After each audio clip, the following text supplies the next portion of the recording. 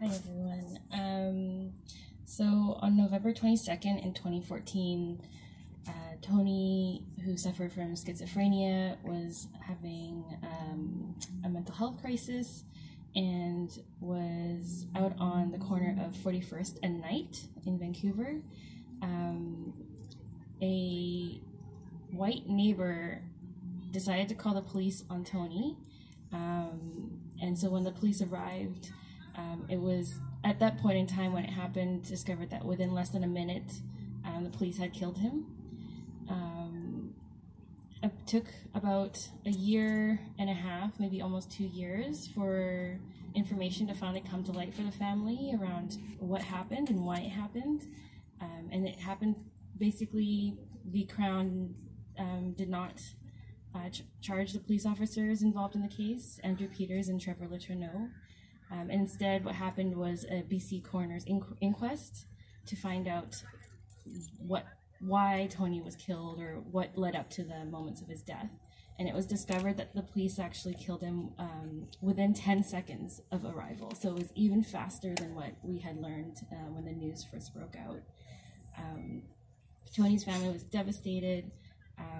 They were unable to find answers for the longest time, and even to this day, now that they know the names of the police officers, there's nothing that can be done about it. Um, and so they feel quite a sense of injustice to what happened to their brother. Uh, Tony was a Vietnamese Chinese man. Um, he was very friendly, described as like very um, easygoing, and had been known in the system as having uh, schizophrenia and had in, police interactions before. Um, and so in this case, when Tony was needed help, he actually was killed instead. And what we've learned since um, is that this is not how people with mental health issues should be supported or lack thereof. Um, and I think learning about Soli Soleiman and learning about the stories of other people it really shows how this is like an institutional pattern. It's not just a one off thing, it's happened to many people and it shouldn't be happening. Um, and I just also want to add some context that in 2014, um, that was the year Michael Brown was also killed.